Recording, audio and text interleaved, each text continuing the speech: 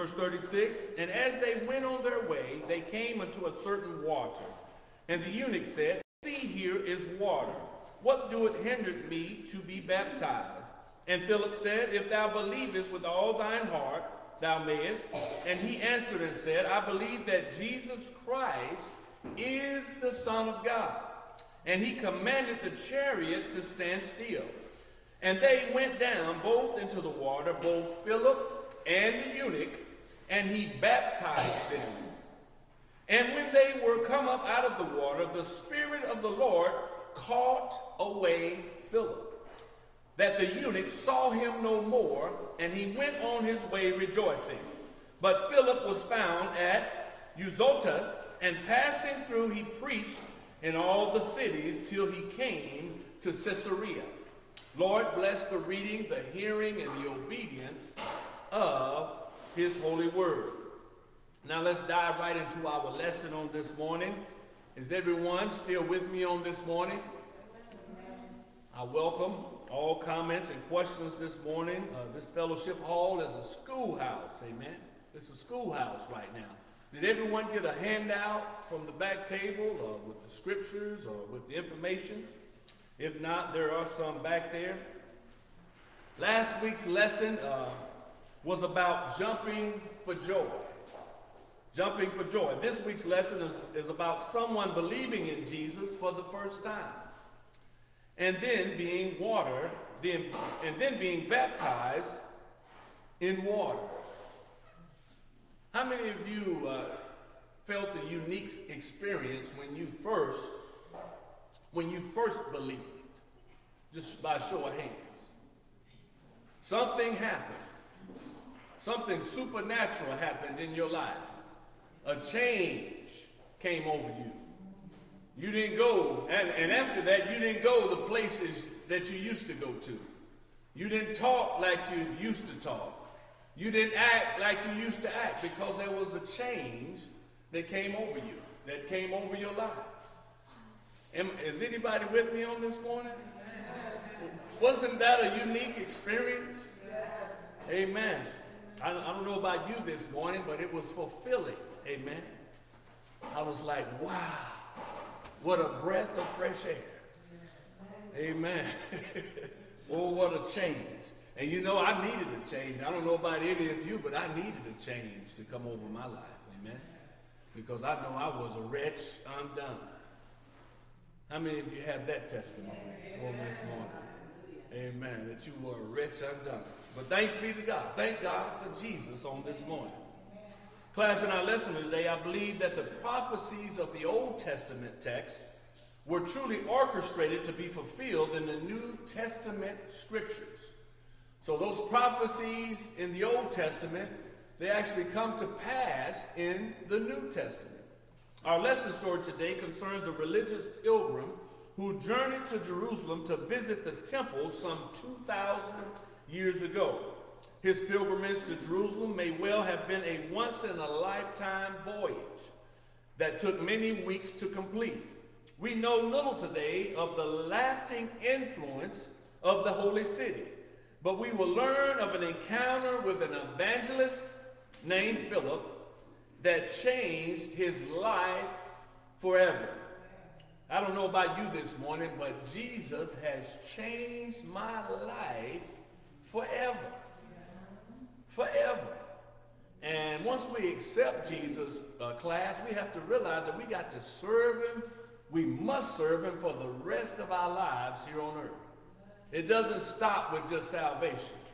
After you receive Christ, here comes the baptism of the Holy Ghost. And that's the power of God to witness. That's the power of God to do the work of the Lord, for the Lord. Because how many of you know this morning you can't do it in your own strength? You must have the power of the Holy Ghost to witness. You must have the power of the Holy Ghost to do ministry for the Lord. You know, when you try to do it in your own strength, that's where you get in trouble. And that's what kind of where some, you know, the church internationally is right now. Because a lot of folk out there trying to do it in their own strength. In Zechariah, Zechariah said it's not by might, it's, meaning it's not by one's might is not by one's power, but is by my spirit, saith the Lord of hosts. So whatever we do, we want to make sure that his spirit is in it. Not our flesh, not our own uh, desires, our own will, but his desires and his will for our lives. I just wanted to throw that in there this morning. Amen. That wasn't part of my notes. I just felt the unction of the Holy Ghost to, to bring that forward. Amen. That's all right. Amen. Part one is titled Evangelist Running. This is Evangelist Philip running.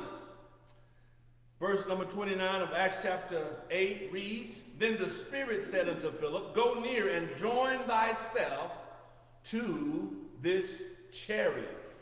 Notice here, he didn't say go join yourself to a person. He specifically said go join yourself to this chariot. In other words, I have work for you to do in this chariot, chariot or regarding this chariot.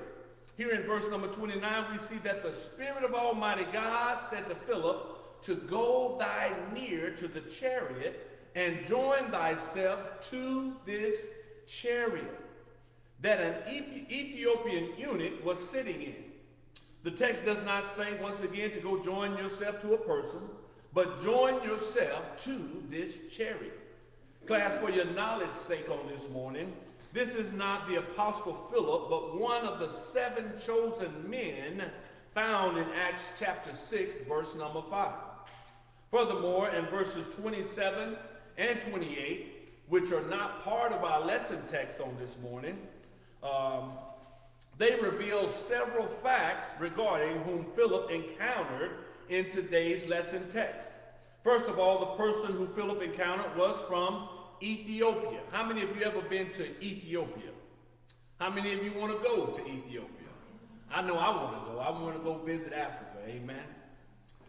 Ethiopia, which is a country in the continent of Africa that is south of the country of Egypt.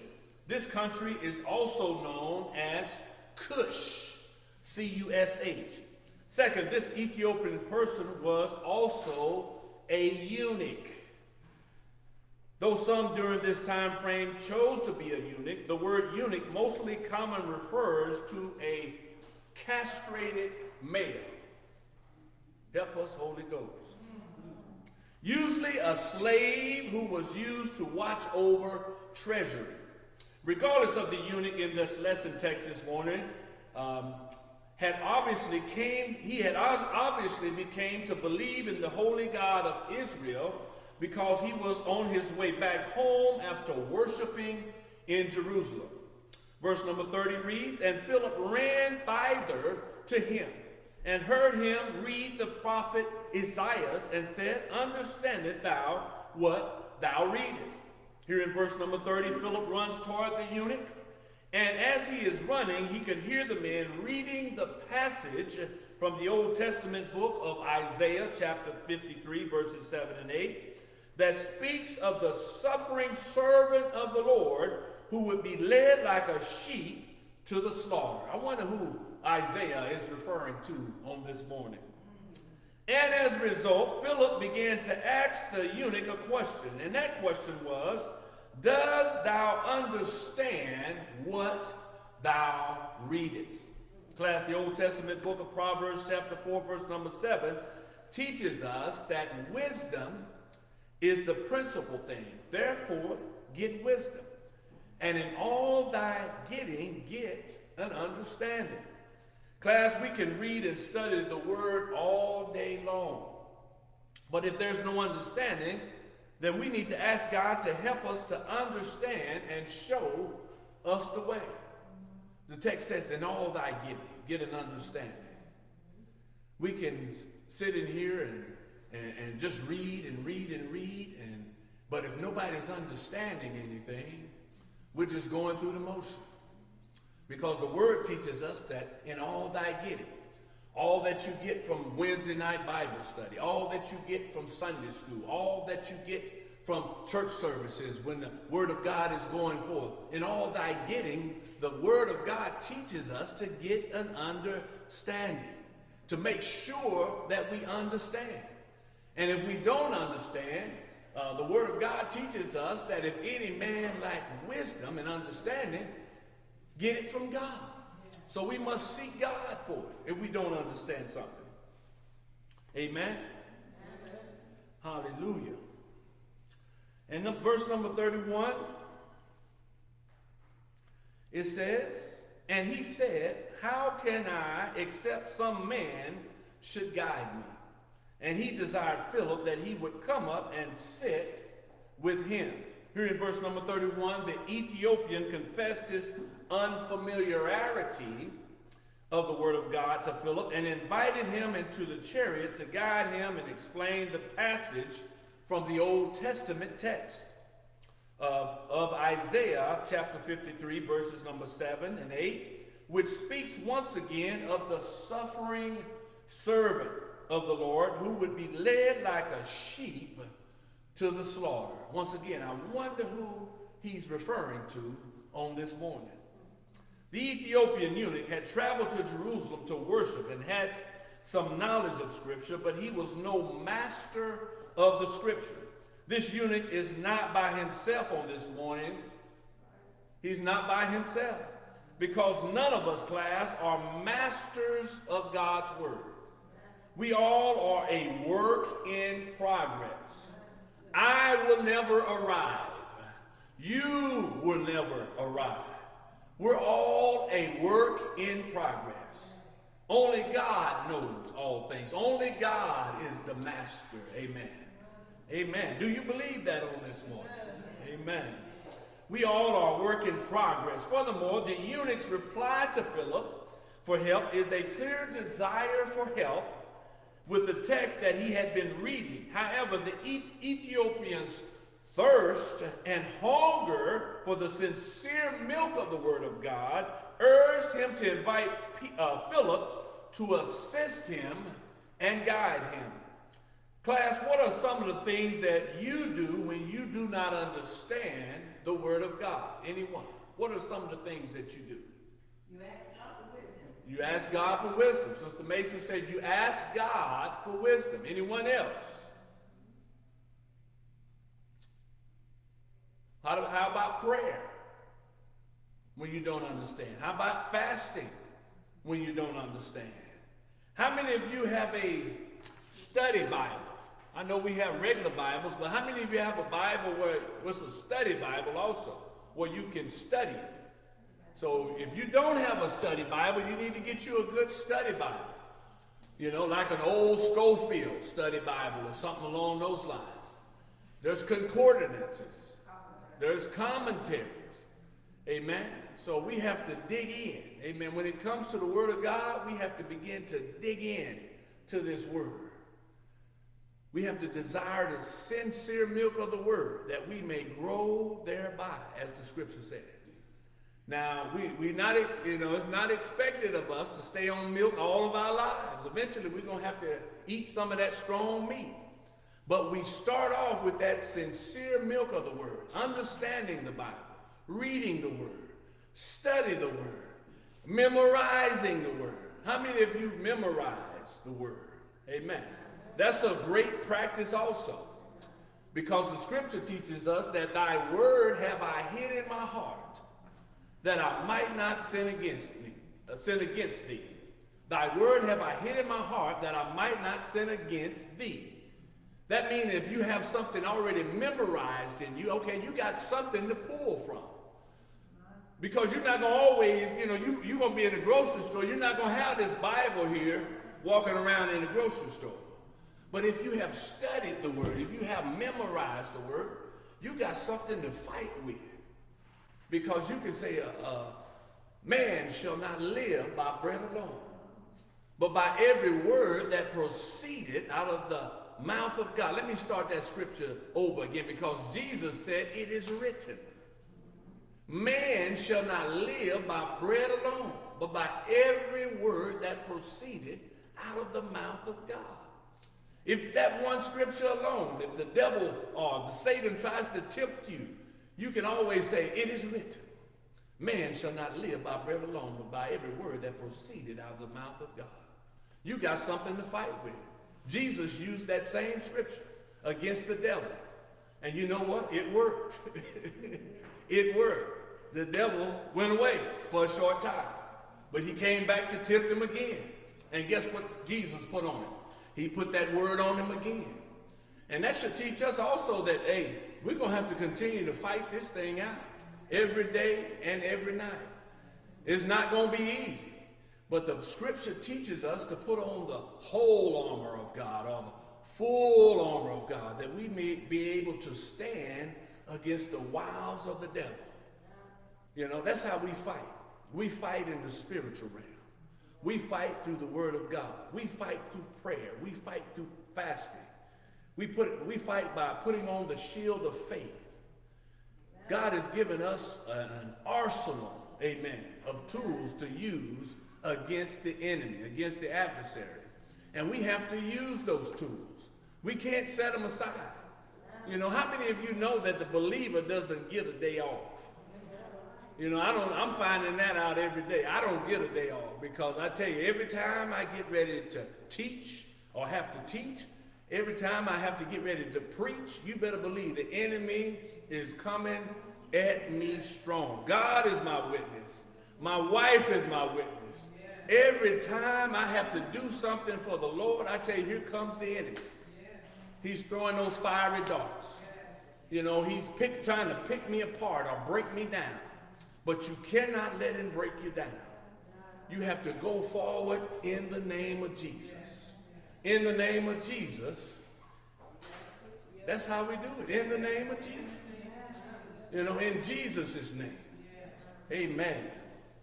Well, moving right along. Some more things. Uh, well, I went over that, those things already. Uh, part two of our lesson on this morning is titled Gospel Preaching. Amen. Class, what is real gospel preaching? What is real gospel preaching? That might be a hard question. Sister Mason. Gospel preaching is proclaiming the death, the burial, and the resurrection of Jesus Christ. Mm. Wow. That's gospel preaching, preaching about Jesus. The death, the resurrection, what I said it earlier. Death, the burial, the resurrection. That's it, that is the gospel. Amen. Amen. Sister Mason said that's the, the death, the burial, the resurrection. What is it? The rapture, the second coming of our Lord and Savior Jesus Christ. Amen. Amen. That's real gospel preaching. God doesn't want us to get up there and talk about Time magazine. He doesn't want us to get up there and talk about the latest sports events.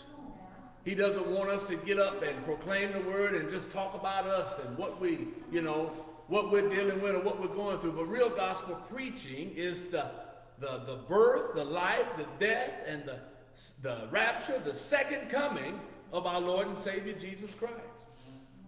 Do you believe that on this morning? Amen. Hallelujah. Verse number 32 of Acts, here in verse number 32, is a prophecy of the Old Testament book of Isaiah. In God's providence, the Ethiopian's encounter with Philip coincided with the reading of a passage of text from the book of Isaiah that presents one of the clearest prophetic visions of the coming Messiah in none, in none other than Jesus, who is the Christ. The, the verses from the book of Isaiah 53 are quoted to nearly 40 times in the New Testament, which makes it a key text for understanding our Lord and Savior Jesus Christ as the Messiah, the soon coming King. This particular key text presents Jesus as one who would suffer in accordance with God's will, rather than serve as a military leader who would fight for political independence of the nation of Israel. Class, the descriptions of the sheep and the lamb portray the suffering servant as one who would fight or protest while on the way to their death. Verse number 33, we find that although the Roman governor Pilate declared that there was no valid charge against Jesus, Pilate still consented to his execution. Class, Jesus, as the suffering servant of, Israel, Isaiah's prophecy, apparently had no hope of being the father of a future generation. Jesus endured the humili- humiliation of this prophecy. The word humiliation in the text describes the trial and crucifixion that Jesus endured for you and I. He endured the cross. He endured the shame. And he did it for you and I. He did it for the entire world. Verse number 34 reads, And the eunuch answered Philip and said, I pray thee, of whom speaketh the prophet this, of himself or of some other man? Here in verse number 34, we find that the eunuch, in an effort to answer his own question, he answered Philip and said to him, Pray thee, of whom speaks the prophet Isaiah of this, of himself or some other man.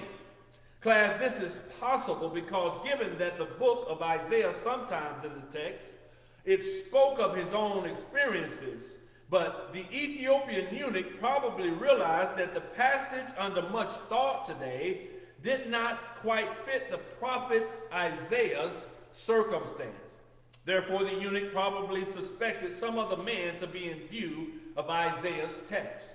However, the eunuch's careful reading and interpretation of the scripture brought him to a place where he was open to hearing about the person of Jesus the Christ.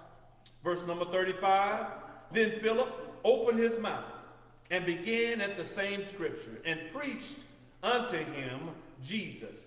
Class, here in verse number 35, the evangelist uh, Philip began to open up his mouth and declare that Jesus is the soon coming king. He preached Jesus to the Ethiopian eunuch. And this is a great example to those of us who confess that we have been called or declared or, or we have declared the word of God. We should make it a habit to preach the gospel of Jesus Christ.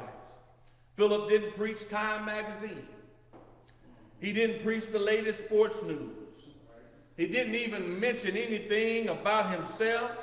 However, he preached the gospel of Jesus Christ to the eunuch. Therefore, when we as believers in Christ get the opportunity to share in the Word of God, um, we should always preach Jesus and Him crucified. He is our Lord and He is our Master and our Savior. And the songwriter says that He saves to the, to the utmost. He saves to the utmost. Jesus Christ, the blood of Jesus, is able to reach those places that are impossible for mankind to reach. I don't know what anybody in here is going through. But I know that Jesus knows exactly what you're going through, and He's able to meet you at the point and level of your need. You may be going through a terrible situation, but you look good on the outside, but on the inside, you're torn up. Jesus is able to heal that. Jesus is able to restore that. Jesus is able to set the captives free. How many need to be set free on this morning? Amen. I don't know about you, but we, we all need to be set free because we all deal with situations. We all deal with circumstances. But Jesus is always there. He's always there to meet us at the point and the level of our need, whatever our need is. Jesus is able to meet that need. We must remember this morning that pastor, he can't save you. Assistant pastor, he can't save you. None of the elders, none of the evangelists can save you. Amen. Only Jesus saves. Only Jesus saves to the utmost. Part three, which is our final part of our lesson on this morning, is titled Water Baptism. Water Baptizing. Class, in your own words, what does water baptism signify? Anyone? What does water, Sister Lisa? You're identifying with Christ. Amen. Sister Lisa said you're identifying with Christ. Anyone else? What does water baptism signify? Nobody else? Amen. Say again. Cleansings of sin. Cleansings of sin. All right. Mother Fusey said cleansing of sin. Anyone else? It's your confession that you are a follower of Jesus Christ and that you are now buried, death, buried with him. Amen. That you come with him, a new person in Christ Jesus. It's an, uh, it's an outward show to the company of your uh, belief in. uh, All right. Deacon Lewis had his hand up. Yeah, that's what I was saying, public, public acknowledgement. Public acknowledgement, an outward show, outward, outward uh, signifying of, of who you believe in, who you stand for, whose side are you on. It shows whose side are you on. If you're on the side of Christ because you're openly and you're not ashamed of being baptized before others. Because there's other people standing there watching you being baptized as well. And you're not ashamed of it. Amen. Verse num- in verse number 36, the eunuch invited Philip up into the chariot while he was still moving. Then Philip preached unto the eunuch from Isaiah 53, verse number 3, while they were still moving in the chariot, and the eunuch spotted water to be baptized, and says to Philip, What doeth hinder me to be baptized? The eunuch has now received the message of Christ and is ready to make an official outward sign of allegiance from the former state of belief. For instance, whenever someone heard the word of Christ, they were baptized in water as an open sign of allegiance unto the belief of Jesus Christ. Verse number 37, please understand that Philip had spoken a lot about the eunuch. Um, he had spoken a lot to the eunuch about Jesus. Class, please note, after the preaching of the gospel, the hearer must believe, the hearer must accept, and invite Christ into their life. The lesson text goes on to say, I believe that Jesus Christ is the Son of God. The Ethiopian eunuch made a confession of his belief, that he believed Jesus is the Son of God. The Ethiopian eunuch made a public confession of many things this one, uh, in this one phrase because number one, he confessed Jesus. Number two, he confessed the son of Joseph and Mary. Number three, he confessed Christ, the Messiah. And number four, he confessed that Jesus is the Son of God, making Jesus a divine deity or being. Sister Mason. Yes, brother, brother, uh, uh, Haskell, you, you, you hitting all the points. Excellent. And I, I'm, I'm, what you said, I want to ask the questions, okay with you? Sure. Does water baptism save you? No, it does not save you. Water bap- Sister Mason wanted to know if water baptism save you. No. The scripture says in Romans 10 and 9, it says, Thou, uh, it says that if thou shalt confess with thy mouth the Lord Jesus and shall believe in thine heart that God has raised him from the dead, thou shalt be saved. For with the heart man believeth unto righteousness, and with the mouth confession is made unto salvation. Key word is confession. There has to be a confession of Christ. Amen.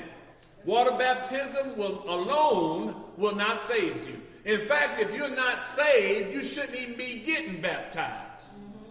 You shouldn't even be touching the water if you're not saved. Elder Ross, do you believe that? Amen. you should not even be touching the water if you're not saved. Does that answer the question at hand?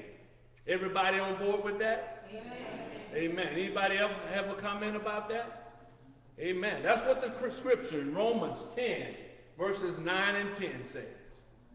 That's what salvation is all about. And you know, if you notice here in Romans 10, 9 and 10, I'm running out of time, but it doesn't say anything about, confessing sin.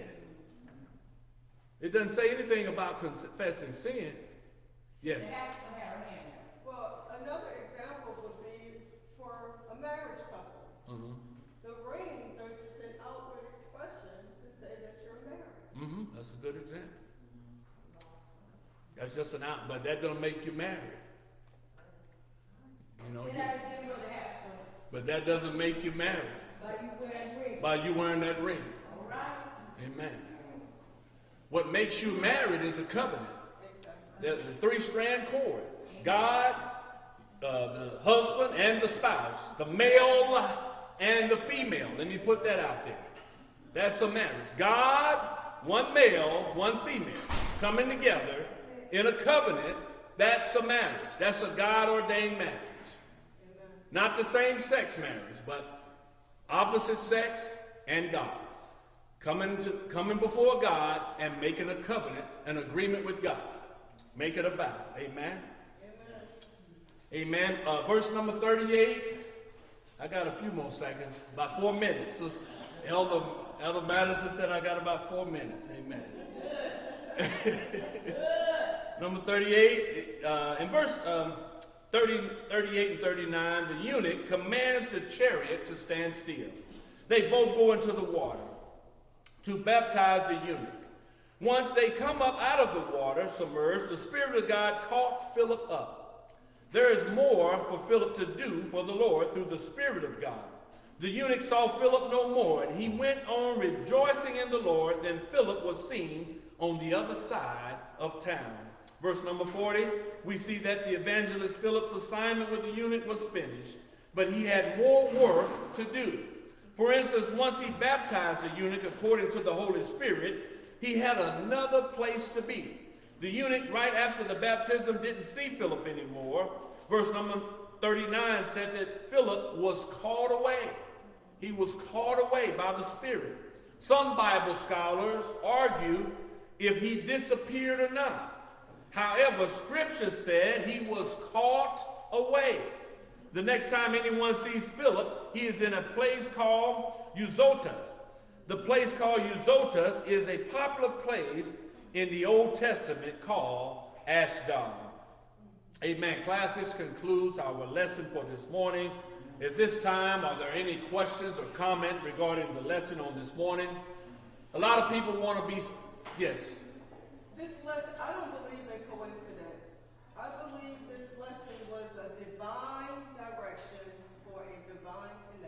Amen. Say that again, Sister Haskell. I don't believe in coincidence. Amen. I believe that this lesson was a divine direction. Divine for a direction. Divine connection. A divine direction for a divine connection. Amen. Elder Ross? You know, it's, it's interesting, uh, when you look at the uh, Lord caught away, you think about the rapture. Think about how the word has went. The word came to this eunuch, and all of a sudden just disappeared. Amen. And just as God is telling us today that we still have to keep putting the word on out there, because the rapture will happen. Amen. Amen. It will happen. How many of you believe that on this morning? By show of hands, that, that we'll be raptured out of here. Amen. All right. A lot of people want to be saved. Some know how, and some don't know how.